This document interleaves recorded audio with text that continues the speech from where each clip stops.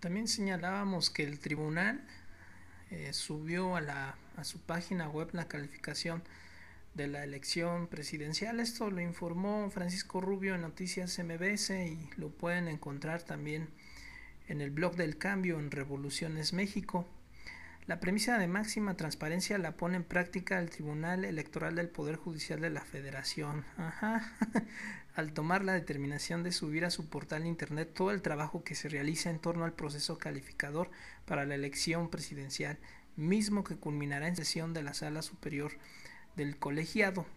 En el portal www.te .go.mx, la ciudadanía en general podrá tener acceso a los acuerdos sobre las eventuales diligencias, requerimientos, informes, visitas o demás actuaciones que se puedan presentar en la elaboración del proyecto de sentencia del juicio de inconformidad 359, así como de los proyectos de calificación y en su caso validez de la elección que realicen los magistrados integrantes de la Comisión Calificadora del Proceso Electoral para la Presidencia de la República, Flavio Galván Rivera, Constancio Carrasco Daza y Salvador Olimpo Nava Gomar. También se encontrará la agenda de trabajo y los acuerdos tomados dentro del proceso de análisis y resolución de la impugnación presentada por la coalición Movimiento Progresista contra los resultados de la elección presidencial del pasado 1 de julio.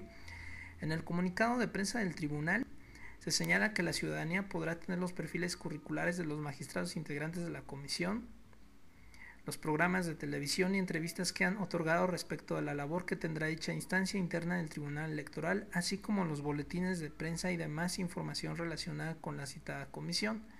También habrá un link a los estados estrados perdón, electrónicos y un glosario de términos jurisdiccionales que apoyará al usuario a entender mejor las resoluciones del Tribunal Electoral por Judicial de la Federación. Bueno, como si estuviéramos tarados, nos tratan como unos idiotas.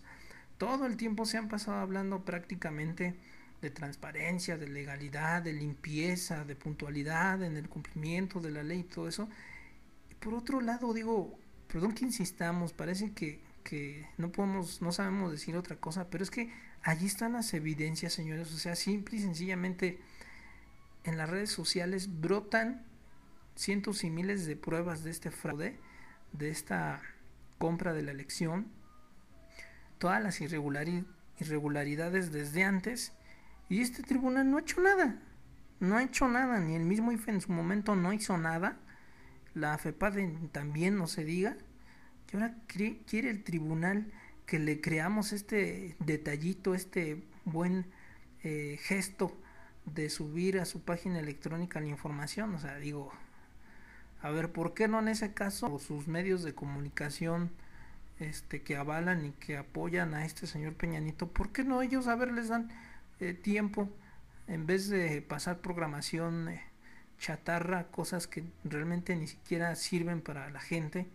¿por qué no haberles dan tiempo a sus magistrados y nos explican frente a las cámaras lo que tengan que explicar? O sea, si realmente no hay argumentos, motivos y pruebas como para invalidar la elección, pues que den la cara al pueblo y que hablen y que lo digan de frente, pero no nada más ahí queriéndonos ahí embarrar una página toda chafa, mal hecha, y hay que transparencia y que no sé qué. ¿Creen que vivimos en qué época o en qué año? Porque realmente digo, es, es cierto, o sea, digo, es bueno que tengan este esta intención de transparentar las cosas, pero digo, la verdad, la verdad hay que ser sinceros. De pendejos van a subir la información real a su sitio web, porque digo, estaríamos viendo entonces la lluvia de pruebas, la lluvia de argumentos contra ninguno que pueda defender la validez de la elección. O sea, al contrario, esta elección está que se cae. O sea, y no nada más la elección, este sistema está que se cae y están con miedo, porque la gente ya no es eh, pasiva, la gente ya no es idiota como para andarse tragando sus mentiras. Entonces digo, guárdense sus buenos gestos para otra ocasión, señores. O sea, y prueba de que realmente no hay justicia en este país. Nada más fíjense lo que vamos a, a continuación a analizar. La nota de, bueno, la, el escándalo ya de por sí de, lavado de dinero a través del banco HSBC. Y fíjense ahora, consignan a 8, a 8 nada más por el lavado de dinero en HSBC.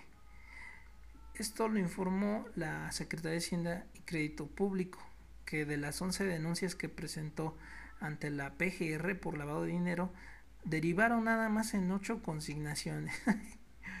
en entrevista radiofónica, Gerardo Rodríguez Regordosa, subsecretario de Hacienda, precisó que algunas personas están relacionadas con los casos de Sheni Yegon, quien a través de las cuentas de su empresa United Pram Chem México realizaba actividades sospechosas, por lo que sus cuentas fueron congeladas en 2005 y Casa de Cambio Puebla, que en 2007 perdió los permisos para operar, luego de ser descubierta por sus nexos con el narcotráfico.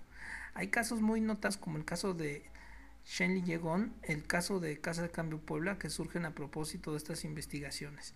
Todas esas denuncias se están procesando por las vías correspondientes, dijo el funcionario federal comentó que en las investigaciones están involucradas hasta 180 personas entre funcionarios y personas externas al banco británico HSBC, pero no dio a conocer los nombres.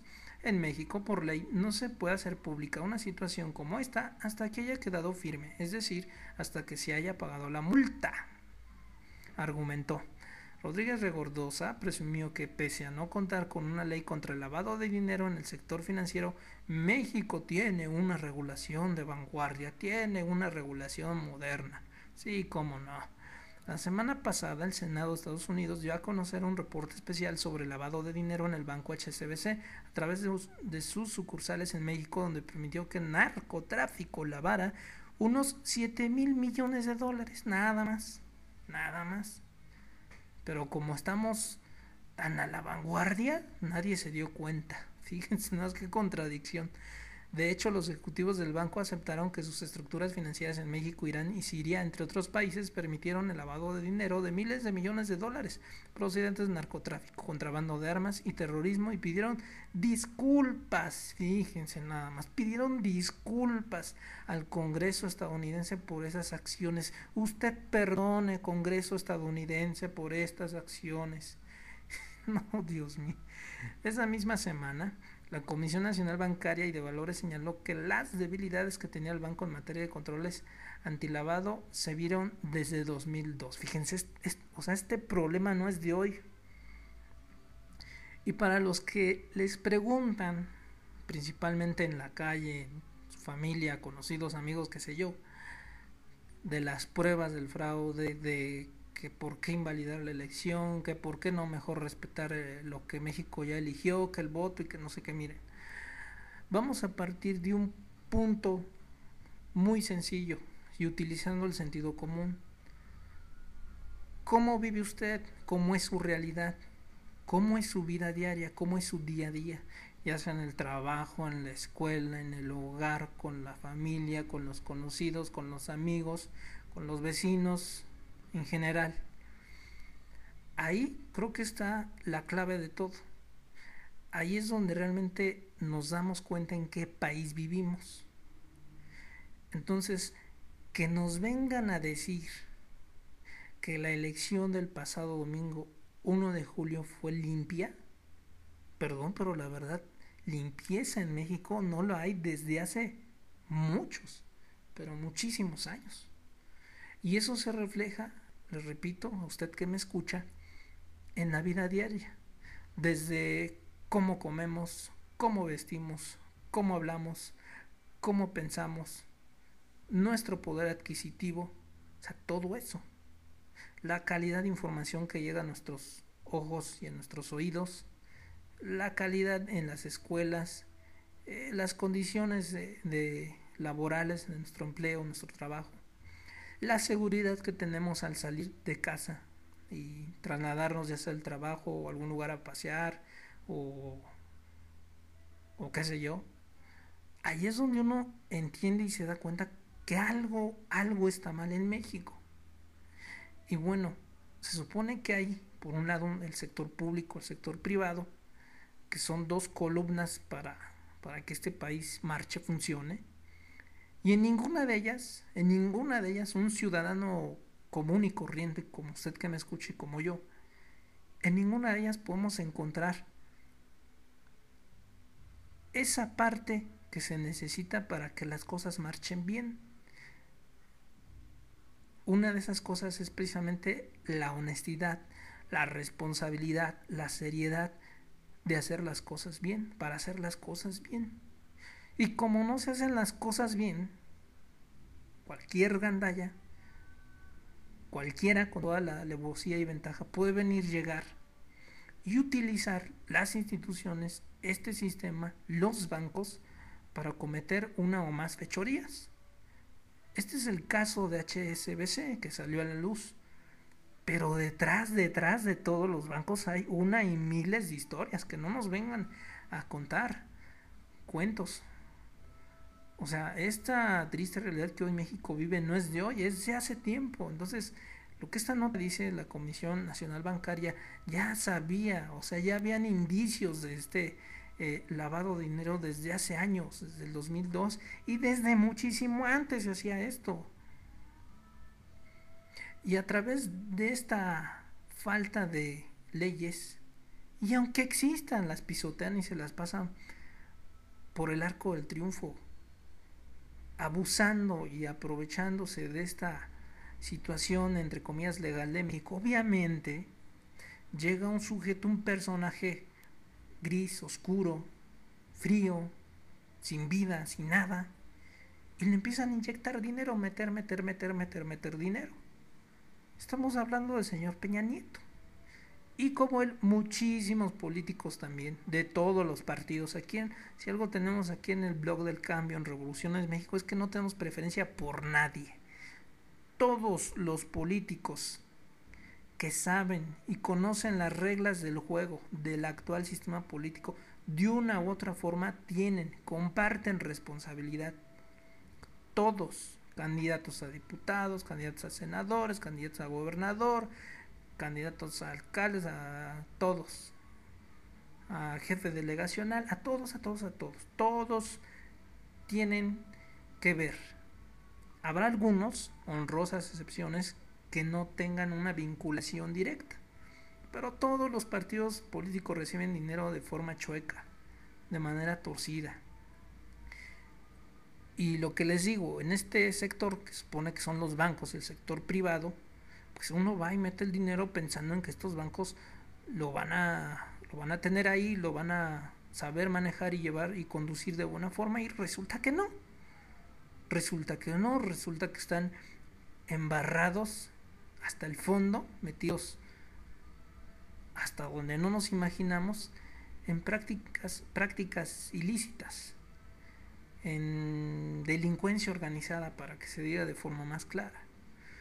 Entonces realmente digo, la, la jornada del pasado domingo 1 de julio no fue una elección, fue simplemente nada más una eh, manera de formalizar un robo y un saqueo que le vienen haciendo al país desde hace mucho tiempo, que no nos quieran ver la cara de pendejos. Ahora este mentado tribunal y demás instituciones, ¿qué no creen ustedes, amigos y amigas de Revoluciones México, gente que nos escucha, ¿qué no creen ustedes que ellos tienen acceso a información privilegiada? Claro que sí. O sea, ellos saben de dónde viene el dinero, cuándo, dónde se deposita, cuándo sí, cuándo no. O sea, eso lo saben. Pero no actúan porque no hay quien les diga que actúen. Y ahora que les estamos diciendo que queremos que actúen, pues se hacen los tarados. Ah, pues bueno, pues entonces si de eso se trata, hagan lo que quieran, impongan a quien quieran, pero van a ver que no van a tener pueblo al cual gobernar, no van a tener pueblo al cual saquear. ¿Por qué? Simple, porque ya nos estamos organizando, porque ya hay una organización ciudadana, ya no dependemos de un líder, de un caudillo, sea de izquierdo del partido que ustedes quieran. La ciudadanía, el pueblo entendió al fin apenas en el siglo XXI, año 2012, México parece que entendió que su destino está en sus propias manos. Y bueno, precisamente para eso está un espacio pequeño, humilde y sencillo como lo es Revoluciones México, para que ustedes puedan entrar y se puedan informar. Este tipo de notas, este tipo de información es la que pueden encontrar ahí en Revoluciones México y trataremos de estar comentando las notas y los análisis que surjan de manera puntual y objetiva a través de estos medios, de estos recursos. No tenemos cámara, pero si tenemos micrófono y tenemos voz y si damos la cara ahí quien nos quiera buscar en Twitter arroba revoluciones mx ahí pueden encontrar quiénes somos qué somos y qué hacemos no somos profesionales digo a lo mejor no estaremos dando la información como lo hace no sé Carmen Aristegui o como la daba el eh, José Gutiérrez Vivó qué sé yo no sé digo no nos no no no les llegamos a la altura pero somos ciudadanos comprometidos con lo que está viviendo el país, con este momento histórico, con esta coyuntura.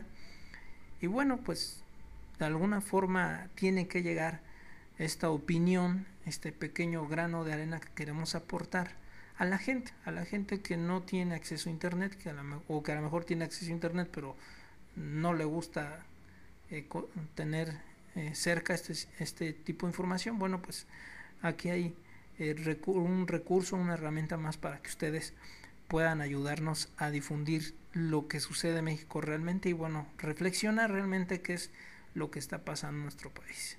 Me dio mucho gusto saludarlos, mi nombre es Samuel García, director actual de Revoluciones México y los invito a que nos visiten. Nuestra dirección electrónica es www.revolucionesmx.blogspot.com si por ahí tienen problemas para entrar a nuestro sitio, bueno, es que resulta que un día después del 1 de julio apareció un bloqueo, quién sabe de dónde, que todavía estamos investigando y algunos que nos visitan desde México no pueden entrar al blog, les marca error, que hay virus, que hay quién sabe qué, que, que va a salir este el chupacabras y los va a comer casi casi. Entonces, a los que no puedan entrar, a la dirección que les dimos revolucionesmx.blogspot.com agreguen diagonal NCR así tal cual.